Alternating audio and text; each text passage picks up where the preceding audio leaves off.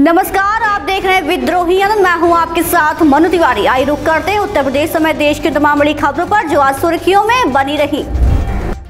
Corona के कम होते मामलों के बीच पीएम मोदी आज C S I R society की बैठक की करेंगे अध्यक्षता। बाइडेन का ऐलान, भारत और दूसरे दक्षिण एशियाई देशों को 70 लाख डोज वैक्सीन देगा अमेरिका। वैक्सीन को लेकर पीएम मोदी ने अमेरिकी उपराष्ट्रपति कमला हैरिस से की बात, भारत आने का दिया न्योता। कांग्रेस ने सरकार पर बोला हमला, कहा सरकारी कोरोना प्रबंधन नीति पर सुप्रीम कोर्ट के सवाल सही। कैप्टन अमरिंदर सिंह दिल्ली में डटे, आज रखेंगे कमेटी के सामने पक्ष।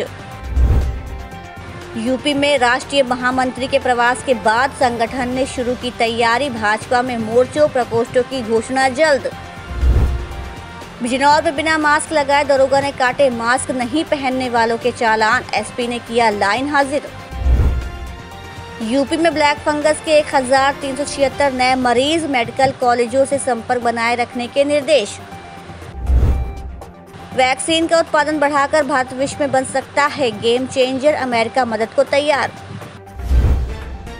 विदेश मंत्रालय ने कहा, मेहूर चौकसी को भारत वापस लाकर रहेंगे। डोमिनिका में पूरी की जा रही है कानूनी प्रक्रियाएँ। मिजोरम में पिछले 24 घंटे में कोरोना वायरस के 205 नए मामले सामने आए, अब तक सैतालीस लोगों की हुई मौत।